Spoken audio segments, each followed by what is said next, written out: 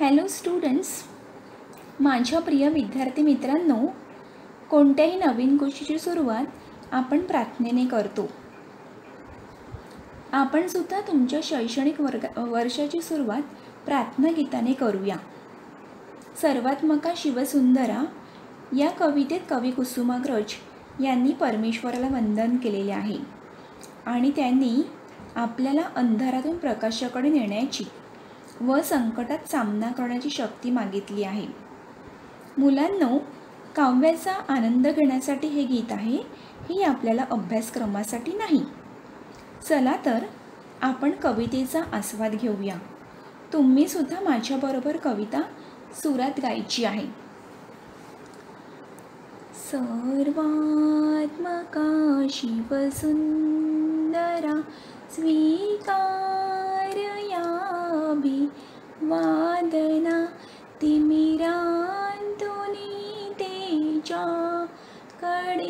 प्रभु आमुचाने जीवना सर्वा मका शिवसुंदरा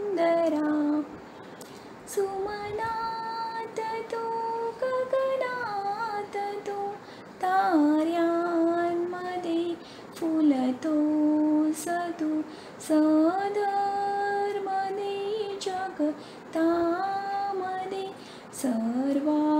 सर्वात त्या वसतो सतू सोहीकडे रूपे तुझी जाणीव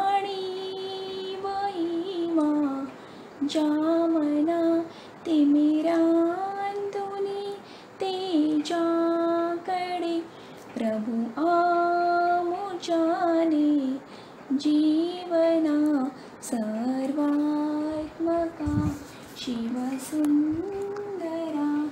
श्रमतोस तू शेतांमध्ये तुरावसी श्रमिकांसवे जे रंजले वागांजले उसतो सत्यांची आसवे स्वार्थाविनासे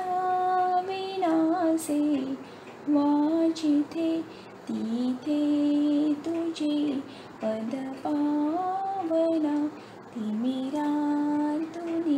तेजा कडे प्रभु आमुचाने जीवना सर्वात्मका शिवसुंदरा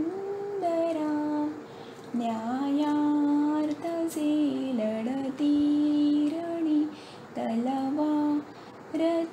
त्यांच्या करी ध्येयार्थ जे तमी चालती तू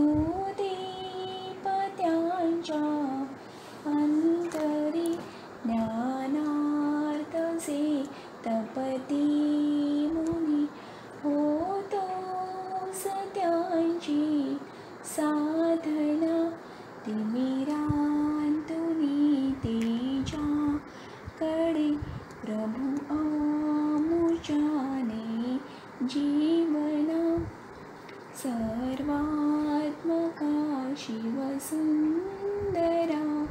करुणा करा करुणा तुझी असता भय कोठले